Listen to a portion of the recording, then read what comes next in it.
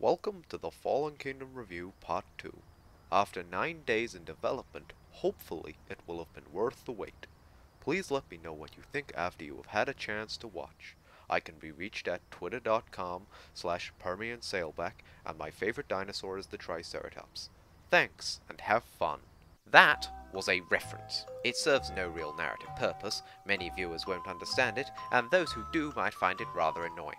It's also very time consuming. Right, let's just get on with the video. After making it onto the boat, the trio sneak into the truck holding Blue. The vet says that she's losing blood rapidly because of the bullet wound and they will need to do a blood transfusion. Apparently, Mr. Mercenary Man didn't provide her with any assistance and just assumed she could save the raptor without any help or equipment. We then get the first use of the word tetanuran in a major motion picture, as the vet explains that they need the blood of one to give Blue a transfusion.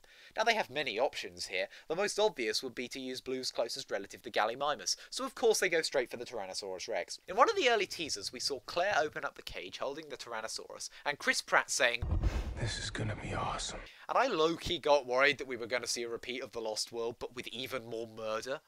But apparently, they were actually just trying to save a life rather than end many. The next scene that follows is quite fun as we get to watch the two of them struggling to extract blood from a tranquilized Tyrannosaurus, where Claire ends up riding on its neck and Chris is squashed against the side of a cage. They then get locked in and the Rex wakes up, but Claire manages to climb out the top of the cage and Chris jumps through the jaws of the Tyrannosaurus to safety. It's a goofy scene, but it's the dumb stuff like this that's actually the highlight of the film. At the same time all of this is going on, we get introduced to Toby Jones's character, an auctioneer, yet another Englishman playing an American. Why did he even need to be American? Heck, why did Mills need to be American? Why did Lockwood have to be British? Oh well, Sam Neill was a New Zealander after all, so I guess it just runs in the franchise. Toby Jones is here to auction off the dinosaurs, which Mills predicts will go for about three or four million bucks, which is really lowballing it. Sue, a complete Tyrannosaurus skeleton, sold for eight million, and you're telling me that a live Tyrannosaurus would sell for half of that? Toby Jones is equally as unimpressed, so Mills shows him the lab in the basement of the house, with a lift accessed by the code 7337. so simple a child could remember it, which is exactly what Lockwood's precocious granddaughter Maisie does, following the men down to a basement and discovering that they have created a new hybrid named the Indoraptor. She also accesses a computer, and there's a sequence where she watches archival footage of Chris Pratt teaching Blue as a juvenile, which cuts between that and the protagonist giving Blue the blood transfusion and removing the bullet from her. In the archival footage, Chris Pratt goes all Nick Cutter and starts referring to her as a Cretaceous hero theropod dinosaur. rather than as a velociraptor. But to be fair, if the JP raptors were real, paleontologists would likely only be able to narrow them down as theropods with certain Maniraptoran-like features and certain other features that are much more Pseudosuchian in nature. At long last, Dr. Wu appears as the only other returning Jurassic Park character. He berates Mills for allowing Blue to be shot and explains that he needs Blue to mother the next generation of Indoraptors. This is at least a somewhat logical explanation for wanting to capture her rather than needing her DNA because he lost the vial or some such nonsense like they had for the Indominus. Maisie then finds the Indoraptor in one of the enclosures in the basement. Unlike the Indominus, we only see the hand at first, which would be nice and suspenseful if we hadn't already seen a 3D rendering of the animal in the previous scene. Mills discovers her and locks her in her room, but she escapes with a reference to Jurassic Park 2 Revenge of the Raptors. She warns Lockwood about the auction, and he confronts Mills about it. Mills promptly murders him with a pillow. The convoy of trucks on the boat move off to the mansion. The IT guy gets mistaken for staff and disappears for much of the rest of the movie, while Chris and Claire plan to ditch the convoy and warn the authorities. However, they are easily recognized and captured, and put in the holding cells with the dinosaurs. At the same time, we see the Tyrannosaurus transported into one of the cells using a really bad CGI goat as bait, which is really dumb given that the Rex didn't really have any other option of where to go and was being forced to go in one direction with cattle prods. Of course, it's only there to make another unnecessary Jurassic Park reference. Maisie sneaks back into Lockwood's room by climbing along a ledge from her balcony to his windowsill.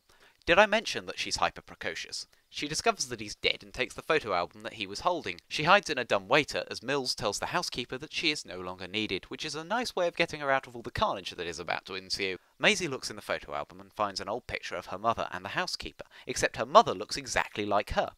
Now, I don't know why, but on seeing this I just thought, oh, her mother looks exactly like her. I guess they couldn't be bothered to Photoshop the actress to look any different. If you've already figured out what's going on, well done. Most of my friends had twigged at this point, but somehow I didn't. I guess after seeing all the other laziness, like the wrong teeth in the Stegosaurus, I just assumed the prop department were on strike.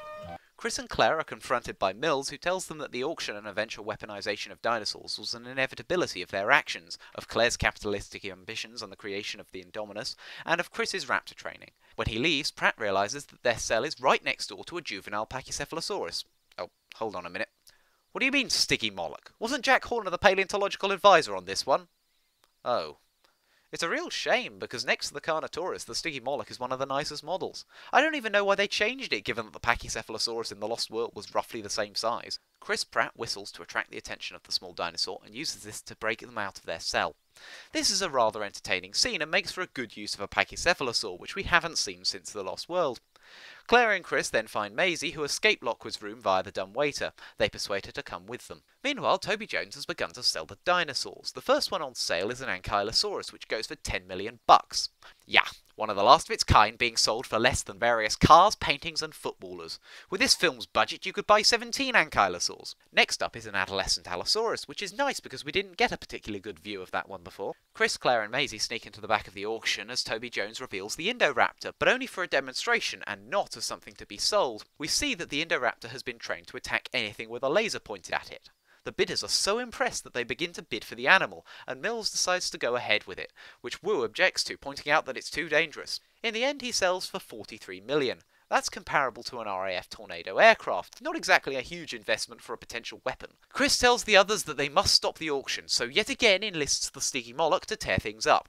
Now, no one actually gets killed by the Stygimoloch, at least not on screen, but it strikes me as a very high risk strategy, because the way that that Ornithischian throws people around, let's just say there's going to be at least a couple of broken bones. Chris then goes in for some hand to hand combat with some of the guards, which is actually the first of its kind in this franchise, if you exclude the various single punches and petty squabbles. The Stygimoloch escapes into the forest while the room is cleared, leaving the Indoraptor in the cage alone. It's at this point that Mr. Mercenary Man reappears, asking for his bonus. He sees the Indoraptor and shoots two darts in it, knocking it out. He then unlocks the cage and wanders over to its head with a pair of pliers. Your dinosaur teeth will make a fine addition to my collection. The Indoraptor, of course, is faking his tranquilization, and no word of a lie, he literally smirks at the audience before turning around and ripping off Mr. Mercenary Man's arm and then eating him.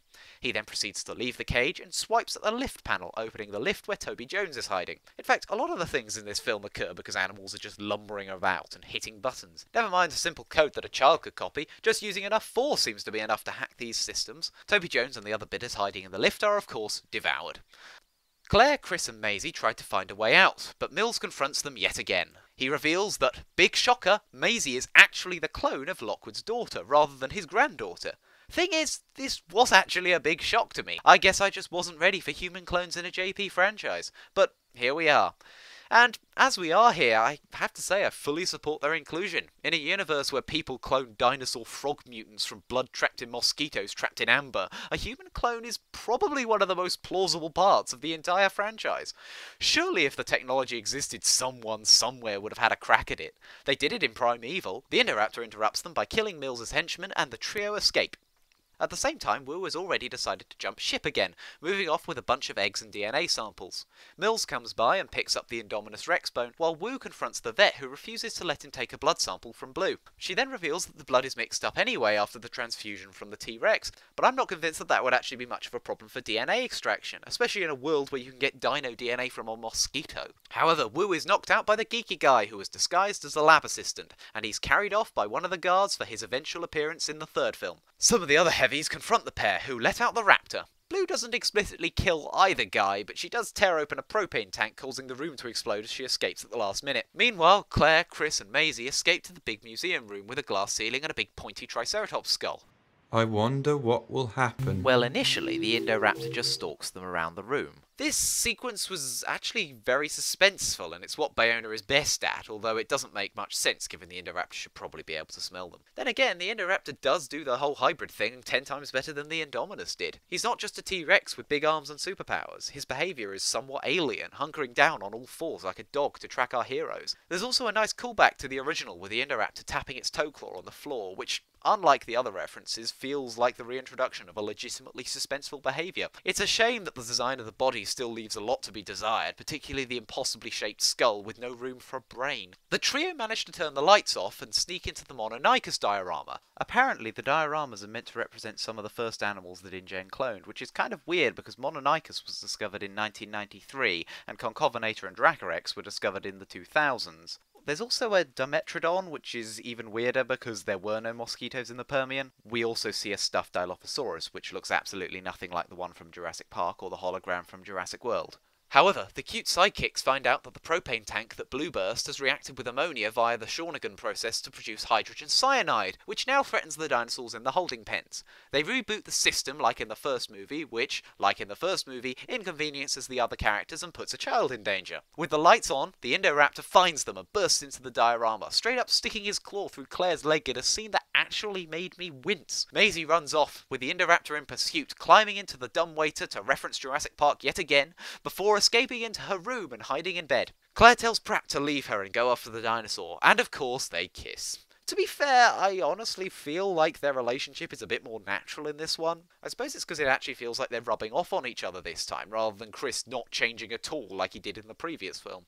The Indoraptor climbs into Maisie's room through the window, but is confronted by Chris carrying a gun. He shoots the hybrid multiple times to no avail, but at the last minute, Blue arrives to help him out. She faces off against the Indoraptor as Maisie leads Chris along the ledges of the building to the glass roof over the museum where the big spiky Triceratops skull is. The Indoraptor then appears to throw itself out of a window. It's the only explanation I can find for him falling backwards, because Blue certainly isn't strong enough to throw him. The Indoraptor confronts Chris and Maisie on the roof, but Claire arrives just in time with a laser pointer gun. Now, logically, she should point it away from the roof the others are on and maybe to the nearest cage, but nope, she points it at Chris, using him as bait to trick the hybrid into falling through the roof, which doesn't work anyway. A frustrated Blue arrives to help save the day as she did in the last film, but at least this time she does it without the help of Deus Rex Machina. She jumps on the Indoraptor, pushing them both through the roof and impaling him on the Triceratops horns. At least this time I was ahead of my friends. Well, a few months ahead because I called it as soon as I saw the set photos. Reunited, the trio joined Wildlife Aid and the IT crowd in the control room, where they discover that the system reboot didn't manage to get the ventilation to work to get rid of the hydrogen cyanide. Claire prepares to release the dinosaurs, but Chris warns her of the risks to all the people living nearby. She decides to leave them to die. So Maisie then sets them free.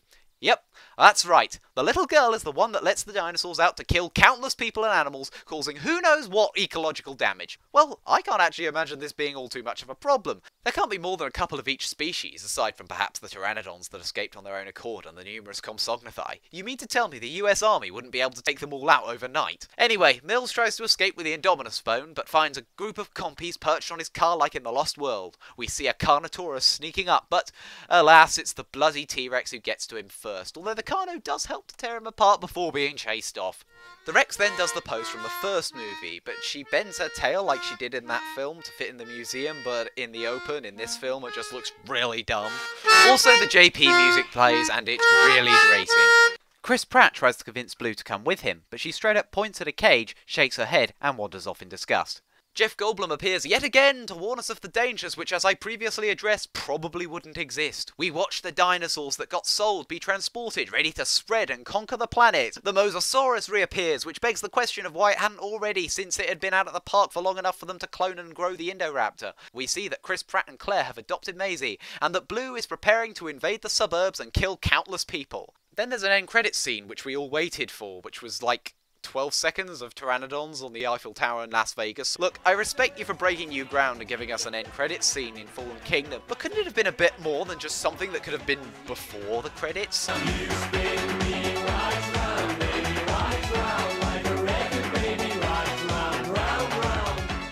So that was Jurassic World Fallen Kingdom, and what can I say except it's really odd.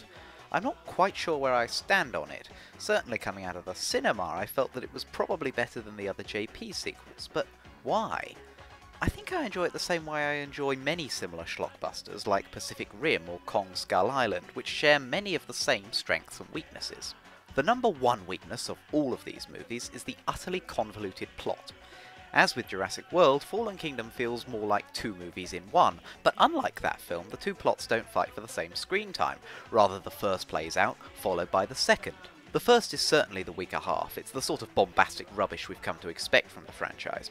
I have mixed feelings about its short length. On the one hand, I would have liked some more animal capture set pieces akin to Prehistoric Park, but on the other hand, when the volcano started exploding, I'm glad what followed was quite short. Apparently the movie was at one point an additional 45 minutes longer, and no doubt some of that would have been footage on the island, including a sequence with Dilophosaurus. This is the stuff I would really like to see, but as of yet there are no plans to release it because the Jurassic franchise is such a special snowflake. The second plot thread was really what the franchise needed, a whole new setting and a new concept. As I mentioned, the Indoraptor was a much better hybrid than the Indominus, and it almost makes me wish it was actually the first hybrid we got in the franchise, besides, well, basically all the dinosaurs because they're all frog mutants. The dinosaurs being heroes was also much less grating in this second act, as aside from Blue they all felt like they were out for themselves. That's not to say the plot isn't a convoluted mess. So many things seem like convenience after convenience, from our protagonist needing to be on the island in the first place, to a truck being empty on the docks and no one checking it, to Mr. Mercenary Man opening the Indoraptor cage, to Blue pushing the Indoraptor through the roof. However, these things don't grate with me as much as they used to, because I can't say I expect a plot that makes any sense anymore. The characters are something I've seen criticised quite a bit, but I honestly don't get it. Chris Pratt is less of an asshole chauvinist in this one, and Claire is much more his equal. I actually felt like the two of them actually had some chemistry in this one, and their interactions were much more focused on either the dinosaurs or the situation than trying to make Chris Pratt look cool. Chris Pratt also does some of his best acting as a tranquilized man, and I found that scene quite hilarious.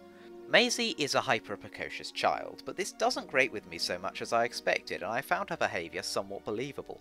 Maybe having a younger brother who likes to climb helps. She doesn't kill a raptor with gymnastics, she doesn't survive on Dinosaur Murder Island for weeks, instead she just sneaks around and finds everything out, so the adults can deal with the problems. Zia the vet was also a good character, if heavily underutilised, with most scenes either caring for Blue or handcuffed to something or other. Her totally platonic relationship with Franklin the IT guy was a pleasant surprise, although apparently in one of the cutscenes, she explains that she's a lesbian. On the one hand, it's a shame that they cut the reveal of the first LGBT character in the JP franchise. On the other hand, Trevorrow's horrific writing pretty much butchers the reveal in the most chauvinistic way possible. Here's hoping she appears in the next movie spouting more taxonomic terminology like tetanuran. Franklin was a very cliche character, and his screaming is the worst thing. However, he actually had something of a nice arc, going from a wimp who doesn't want to be there to the guy who actually knocks out Wu on his own accord. A lot of people have been saying that no one in this movie has any arcs, but along with Claire deciding not to save the dinosaurs and Chris becoming less of a jerk, I think there were ample character arcs, at least compared to the last movie, which had one really terrible character arc. Toby Jones hamming it up as the auctioneer bad guy was a joy to watch, if only for a short time, although I don't think I can say the same for the other bad guys. Mills basically screams villain from the first time we see him, and Mr. Mercenary Man doesn't have enough depth or good lines to make him a compelling hunter type like Muldoon or Tembo. Wu does very little. It's pretty clear they're trying to build him up as some sort of Thanos tier villain for the third film, although BD Wong has said he is a more complex character, it certainly doesn't show in this movie. James Cromwell was also underused, but I'm glad he was actually one of the good guys. However, when it comes to underused, it would be remiss of me not to mention Jeff Goldblum, who was heavily featured in the marketing and then is in the film for less than two minutes. That said, I'm not all too sure what they could have done with him. Maybe if they bring back Sam Neill or Laura Dern in the next film, we could see some reoccurring cast actually do more, because at least their characters would have more practical application to the plot as people who actually know stuff about dinosaurs. The music is generally fine. I don't think it's quite as memorable as Jurassic Worlds, and certainly not the first two movies. I even started wincing every time the JP theme played, usually because it was accompanied by a really grating reference. The music is also one of the reasons this film falls below Pacific Rim and Skull Island in my rating system. When it comes down to it though, movies like Fallen Kingdom, Pacific Rim, and Skull Island aren't enjoyable because of their plots, and while the actors are usually good and the characters watchable, the highlights of these sorts of movies are the special effects and the action set pieces.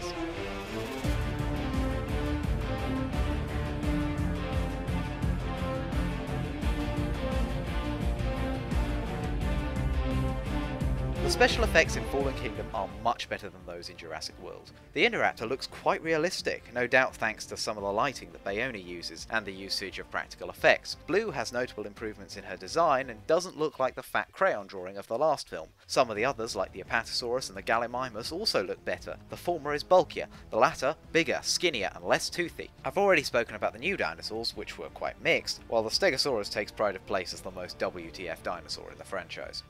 The action parts of this movie are so much more inventive and diverse compared to the other sequels, so much so that people compare this film to a Marvel flick. I honestly can't see how that's a bad thing, given that the worst Marvel movie is still better than the other three JP sequels. Examples in this film include Chris Pratt escaping from slow-moving lava, the underwater gyrosphere escape scene, the Tyrannosaurus blood transfusion scene, the Stygimoloch rampage, and the suspenseful Indoraptor hunt, which is arguably the best raptor sequence since the kitchen scene in the first film. This scene in particular is really well shot. Bayona's cinematography in this is really nice, although unfortunately he's also responsible for the constant visual references like the laughable Brachiosaurus and the cringeworthy Tyrannosaurus. Bayona's presence in this film at all serves as a reminder that people still take this franchise seriously, as though any level of credibility this franchise once had wasn't instantly erased the moment a 12 year old killed a velociraptor using gymnastics. Going forward, it will be interesting to see where they take this franchise. I can see it going two ways. Either they take advantage of the variety of settings offered by the concept of global domination by dinosaurs, or they completely screw things up and we go back to the same formulaic structure of the last three movies.